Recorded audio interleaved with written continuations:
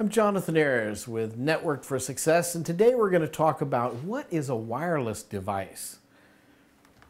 A wireless device is any device that can transmit signals using an internal radio. And a radio is nothing more than an electrical circuit that sends electrical impulses through the air. So the best example of a wireless device that we carry around are our cell phones all of our cell phones are wireless.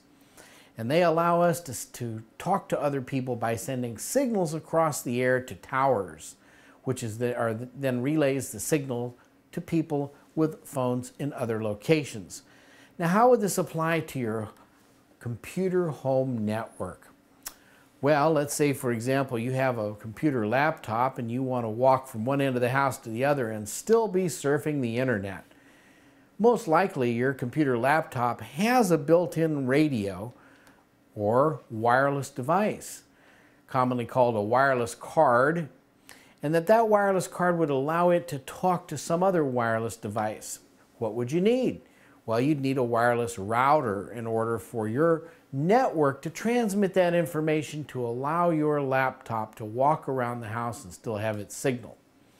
So basically what we're talking about are two radios two little radios, one that transmits the information out and the other one that receives it and then transmits data back.